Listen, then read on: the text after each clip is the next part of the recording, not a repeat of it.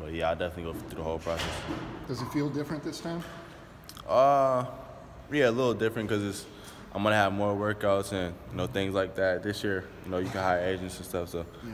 they'll definitely be different. How can you use last year's experience to help you this year during the whole process? Um, you know, I know what I know what it takes to you know to go into the workouts and just do what you got to do, just be yourself. So, um, last year I had the experience with it, and uh, this year I think I'll be you know more experienced with it.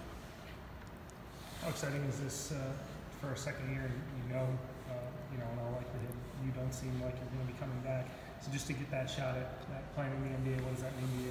Uh, it means a lot. You know, that's that's been my dream growing up. You know, not a lot of people, you know, make it from where I'm from. So me, you know, just get just being the first person to, you know, try to make it, and um, you know, that's just that's it means a lot to me, and it means a lot to the to youth back home, and to you know, just everybody back home, just inspiring the youth. It's, it's not really, you know, it's not about basketball. Everything, not everything, not about basketball. It's, you know, it's more than basketball. So.